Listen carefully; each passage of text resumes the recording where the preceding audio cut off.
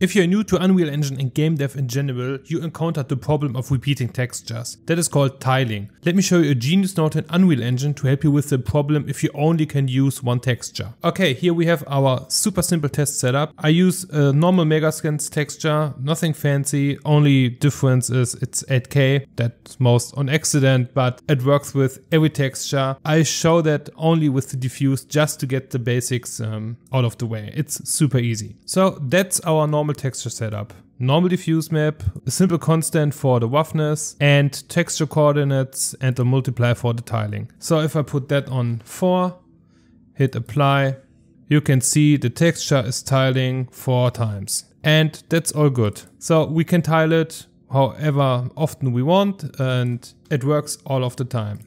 But the problem with tiling textures, so if I put it on 2, is obviously you can see the repetition and that's something we want to avoid because it just looks ugly. And there are many methods how you can do that with vertex painting, blending textures together. If you for some reason can only afford one texture in your project, there is an even simpler way. So let's open our other shader and see what we can do about the tiling problem. So as we can see, the shader is not really complicated. Let me maximize the view. We have a constant for the roughness. We have two scalar parameters. To create these, you just hold down S and left click, and then you can give them a name and set a default value. So we have scalar parameters here, two, one for tiling and one for offset and a texture object. A texture object is basically just a texture, you right click it and you convert it to a texture object. If you plug a texture in here, you can't um, combine these. But the main difference here is this node called texture bombing. And texture bombing works together with the two scalar parameters we just created in here. And let's see what it does. So let me apply the material real quick and no change. So let's see what happens if we double the tiling to 2. Well, we get double the tiling. Who would have thought?